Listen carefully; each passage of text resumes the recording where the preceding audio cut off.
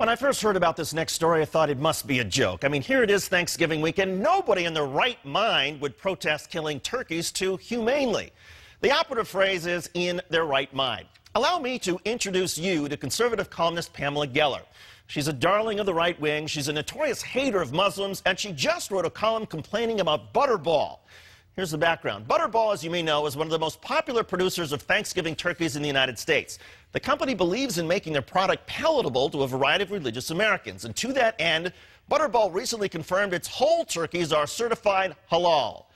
Halal is an Islamic term that refers to how animals are butchered, much like kosher butchering for Jewish people. Halal requires that an animal be killed in the most humane fashion possible by swiftly cutting the turkey's throat.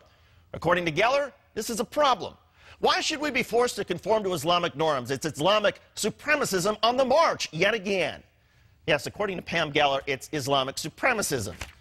She went on to write, quote, non-Muslims in America and Europe don't deserve to have halal turkey forced upon them in this way, with, without their knowledge or consent. So this Thanksgiving, fight for your freedom.